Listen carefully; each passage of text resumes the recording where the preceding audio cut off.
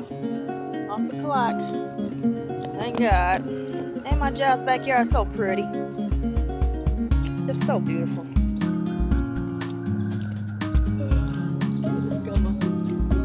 Go home.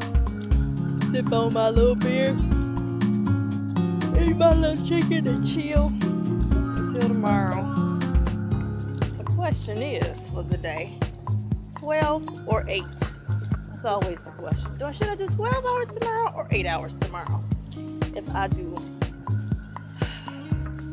12 hours tomorrow, I won't have to come in Saturday night. Which means crawling in Saturday night because I'm working midnights Friday night. If I do 8 hours, I'm gonna have to come in Saturday, Sunday night to make up for it. And four little hours, they make a difference, girl. Yes, they do. We'll see. Why do people love to ask me things and then not take my advice?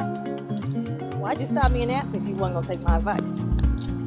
Let me live. Duh. I know what I want. I want someone to write about the medical industry the way Anthony Bourdain writes about the food industry. And it ain't me, I don't have enough experience. Give me a few years, I'm working on it. That's what I want. This life of ours is all I ever want to know. I thought I had to go all the way down to Eastern Market to get these. I'm so glad. Now maybe I can find my